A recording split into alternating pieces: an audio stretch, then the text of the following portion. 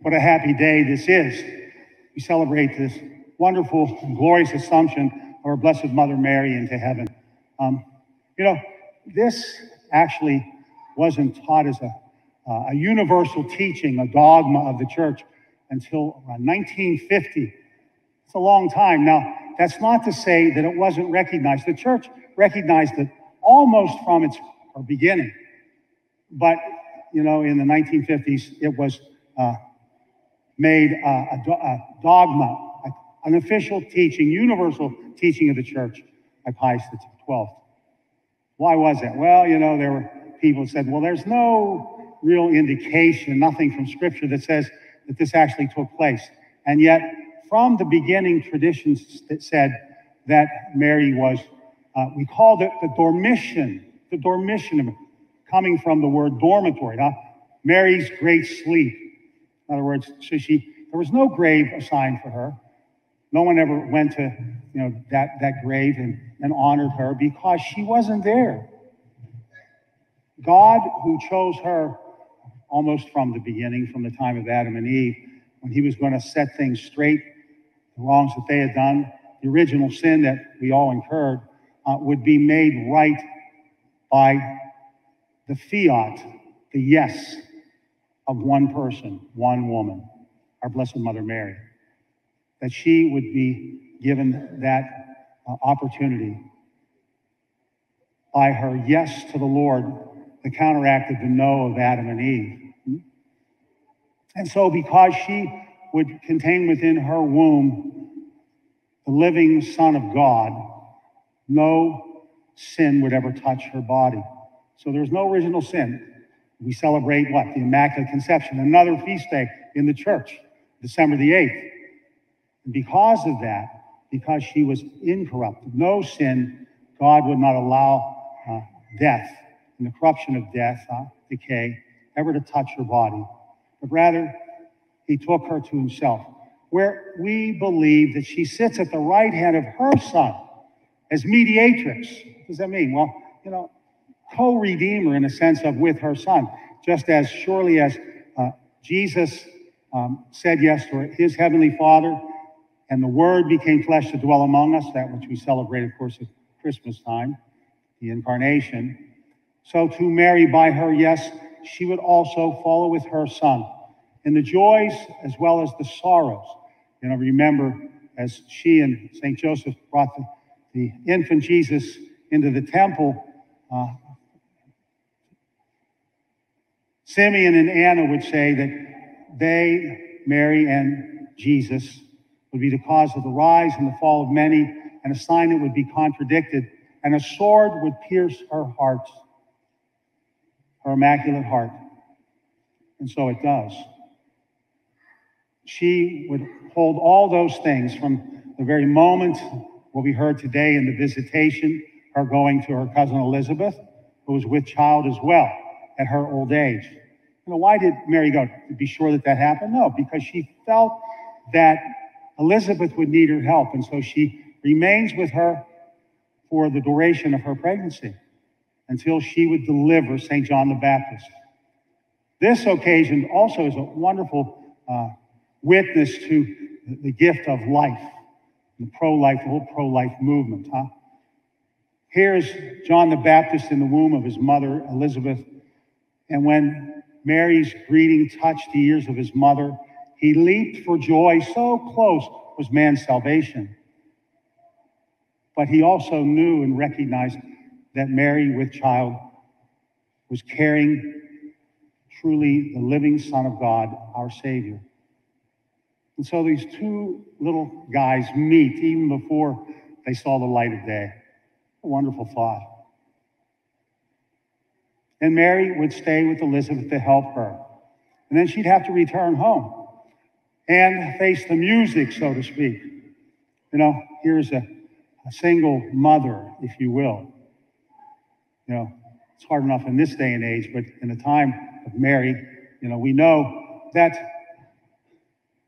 St. Joseph, not wanting her to face shame, was going to divorce her quietly.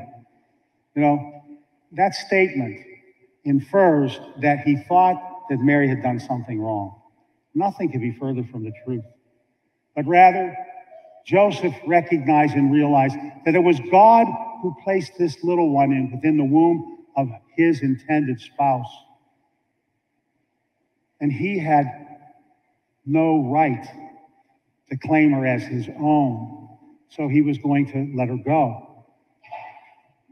But God had another plan.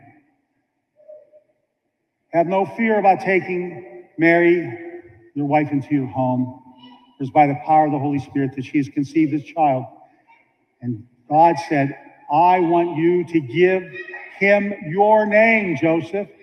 He needs to be legitimate. He needs to be have a legitimate place in this world. And so he does. He becomes the head of the family. Joseph, whom we honor, you know, throughout this year, would take Mary as his wife. And he, along with her, would raise this child in the ways of faith. And he grew in wisdom, age, and grace, it says in the scriptures. But there would come a time when Mary would have to let him go.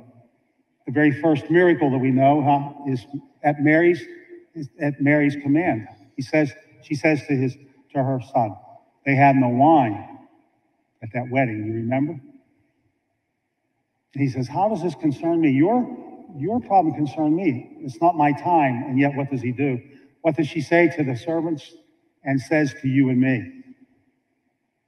Do whatever he tells you. And so here you are this morning, along with me, to worship our Lord and God. Do whatever you, he tells you. And so he changes that water into wine, the best wine ever, as a pretext to the fact that he would offer wine that would be changed to his most sacred body and precious blood, that which we celebrate today. Do whatever he tells you. And so we remember Mary. But she would also have to say goodbye to her son, giving him to the world. And she'd have to endure his passion as well. The fact that he would be betrayed and denied and arrested and kicked and spurned and nailed to a cross. And she would stand there at the foot of that cross and witness his suffering and death, enduring it just as he did. She did it in spirit. We can't forget, though, that at the foot of that cross, as Jesus hung upon that cross and looked down at his dear mother and said to her, Woman, behold your son, your children, and said to St. John, John, behold your mother. At that moment, Jesus gave her to us and all of us to her. And so we honor her. Now we hear, uh, first reading would have been about in Revelation about the dragon standing there ready to devour this child that the woman was going to bear. But nothing would ever touch him that way. He would suffer his death upon that cross and then be raised up three days later so that you and I might have the hope of everlasting life. But in the end, Mary would be with John until that day when God would call her to himself to be with him at Jesus' right hand as co mediatrix for all of us, co redeemer. Now, how do I say that? Only because of her fiat, her yes, and him giving her to us and all of us to her. She is a co redeemer. Huh? We pray for her intercession don't you? You know, we have our earthly mothers, we have a heavenly mother in Mary. I don't know about you, but that affords me great hope. In those times of loneliness, despair, whatever it might be, you can turn to her. And she's there for us because she knows our suffering. She experienced it herself just as surely as Jesus did in his own passion and death. And so today we remember that God took her home to be with him forever in the realms of heaven. But even as we honor her upon the face of this earth, we also implore her intercession, huh? that we may be children truly pleasing to our Heavenly Father by listening to her words. Do whatever he tells you.